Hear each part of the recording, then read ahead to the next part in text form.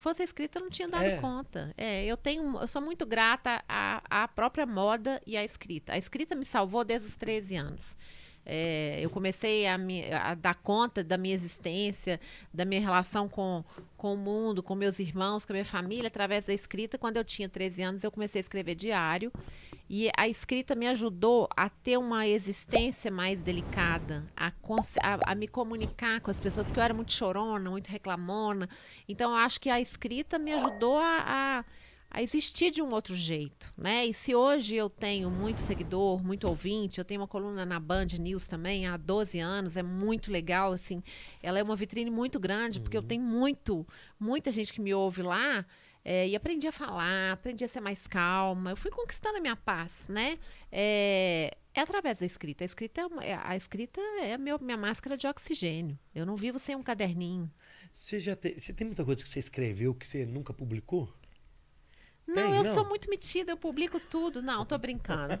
Ah, tem um tanto. Eu tenho, na verdade, eu sou uma pessoa muito analógica nesse sentido. Eu Ah. preciso da caneta, gosto de caneta Ah, tá. e, e folha pautada. Então eu tenho vários cadernos que eu vou anotando, aí pego, faço agenda e tal. Eu sou muito de anotar tudo.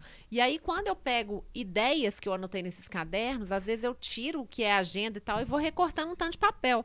Então eu tenho um tanto de pastinha com várias ideias que eu não olho mais, mas que tá ali e que pode dar alguma coisa. Oh, É. vai, vai dar alguma coisa, eu tenho certeza disso.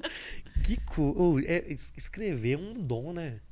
É um dom e, um, e é um um exercício dom. também, né? eu Acho sou que- péssimo de escrita. Eu, eu- eu- sou jornalista, nunca gostei dos meus textos, assim, sabe? Eu sempre fui para a área mais de criação, de vídeo. É bem louco isso. É, Eu mas acho que a cada um com a é sua um- habilidade, é, né? É. Mas tem. ah, Eu falei dom, você falou habilidade. Você também melhora com o tempo?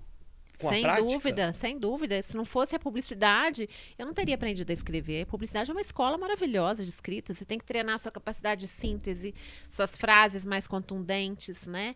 E outra coisa que eu acho que eu aprendi muito, eu acho que eu sou uma escritora popular, eu sou uma escritora acessível. Eu, fa- eu tenho uma escrita fácil, uma escrita simples. Porque eu sempre falei para massa. Eu comecei na publicidade no ano de 1990, quando a comunicação era de massa, ela não era nichada como ela é hoje, né? Então as pessoas falam muito assim: ah, você traduz aquilo que eu sinto. Porque eu acho que eu falo de um jeito é, muito, muito palatável. Até quando eu comecei a escrever, virou, quando eu virei escritora, que foi quando surgiu um grande destinatário na minha vida chamado Francisco, que é meu filho, eu escrevia para ele de um jeito que ele, ele era uma criança, ele não ia ler.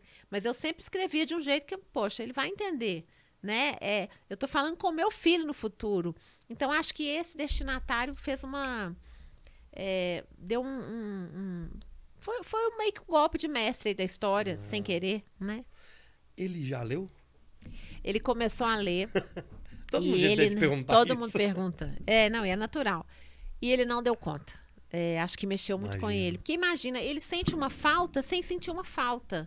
Ele tem a falta da falta. Porque de quem ele sente saudade? É um pai que ele não conheceu, mas que as pessoas falam muito Uhum. pra ele. Ele é muito parecido com o pai. Não só fisicamente, mas também em atitudes. Ele, co- ele cozinha bem igual o pai cozinhava. Ele é muito parecido com o pai. Então, assim, acho que isso deve mexer muito com ele, né?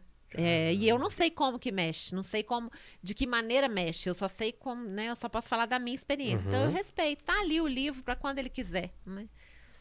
Isso- Mas a- é- uma grande amiga dele que gosta muito de ler, ela leu e contou umas coisas para ele e tal. Acho que mexe muito com ele, assim. Gente falou.